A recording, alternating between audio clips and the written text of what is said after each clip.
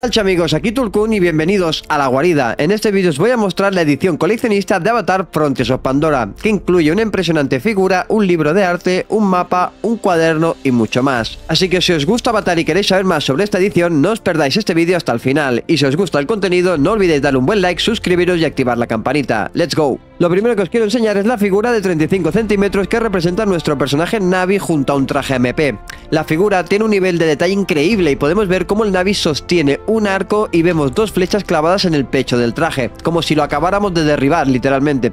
La figura viene sobre una base que simula el suelo de Pandora con algunas plantas y rocas, sin duda es una pieza que lucirá muy bien en nuestra estantería. Lo siguiente que os quiero mostrar es el libro de arte de 128 páginas que nos muestra el proceso creativo del juego con bocetos, diseños, ilustraciones y comentarios de los desarrolladores.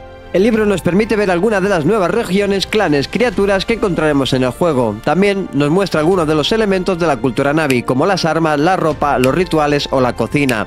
La verdad que es una auténtica joya para los fans de Avatar ya que nos permite sumergirnos en el mundo de Pandora y descubrir sus secretos. Otro elemento muy interesante que nos trae es el cuaderno de campo de la resistencia. Este cuaderno tiene 32 páginas y está lleno de notas, dibujos, fotos y documentos que nos revelan algunos detalles del argumento del juego, de los personajes y de las misiones.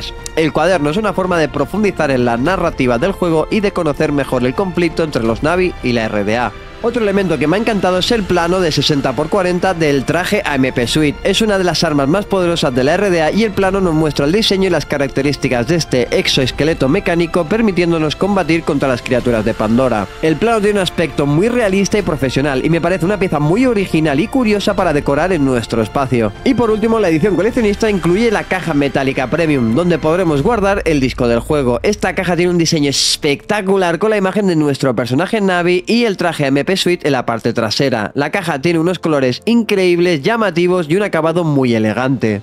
Y además incluye un certificado de autenticidad numerado y un conjunto de tres litografías que son una de las ilustraciones de alta calidad que representan algunas escenas del juego. La edición coleccionista tiene un precio de 230 euros y se está agotando muy rápido.